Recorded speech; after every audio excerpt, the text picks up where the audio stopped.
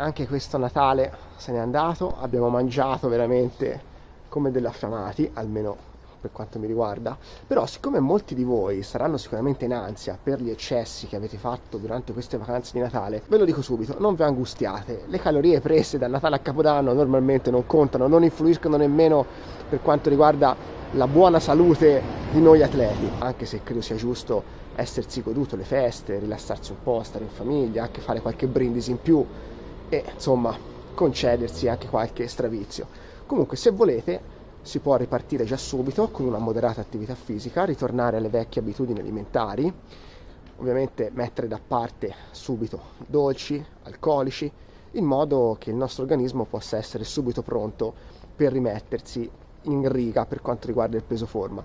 Altra cosa molto importante, cercate di abbinare poca carne alla vostra dieta, in particolare nel post vacanza, e aumentare invece il consumo di pesce.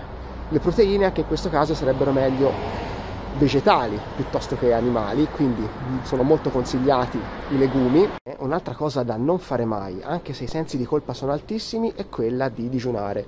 Meglio mangiare poco, ma cadenzialmente durante tutta la giornata che improvvisare strani e pericolosi digiuni. Quindi ragazzi, calma e sangue freddo, è giusto essersi rilassati un pochino durante le feste natalizie, non muore nessuno se abbiamo fatto un brindisi in più o se abbiamo mangiato una fetta di panettone in più. L'importante è prendere queste feste nel modo più tranquillo possibile, visto anche l'annata tremenda che questo 2020 ci ha regalato.